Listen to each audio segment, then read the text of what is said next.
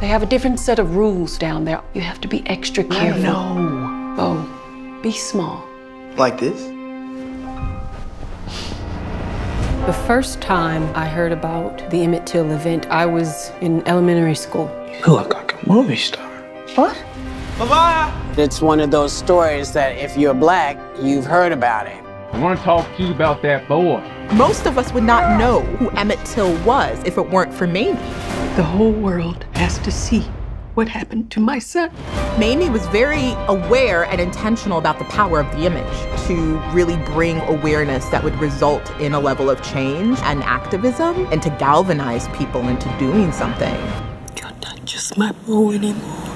Orion exists to give a platform to the myriad of filmmakers like Chinonye that have something to contribute to the cinematic canon of American film. And I'm really, really committed to making movies, not just by us, but for us. We put Emmett's story in its proper context and history to understand how his story sparked the American Civil Rights Movement we get to see how Mamie fights for justice. If something is happening to one of us, it is happening to all of us, and we witness her come into a particular kind of power and to be the progenitor of the civil rights movement.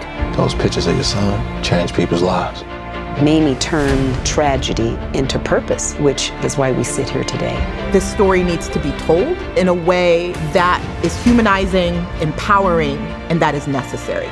There will be no physical violence against black people on screen because I'm not interested in relishing in that kind of physical trauma. We're gonna begin and end in a place of joy. You, you just beep beeped when you should have bopped.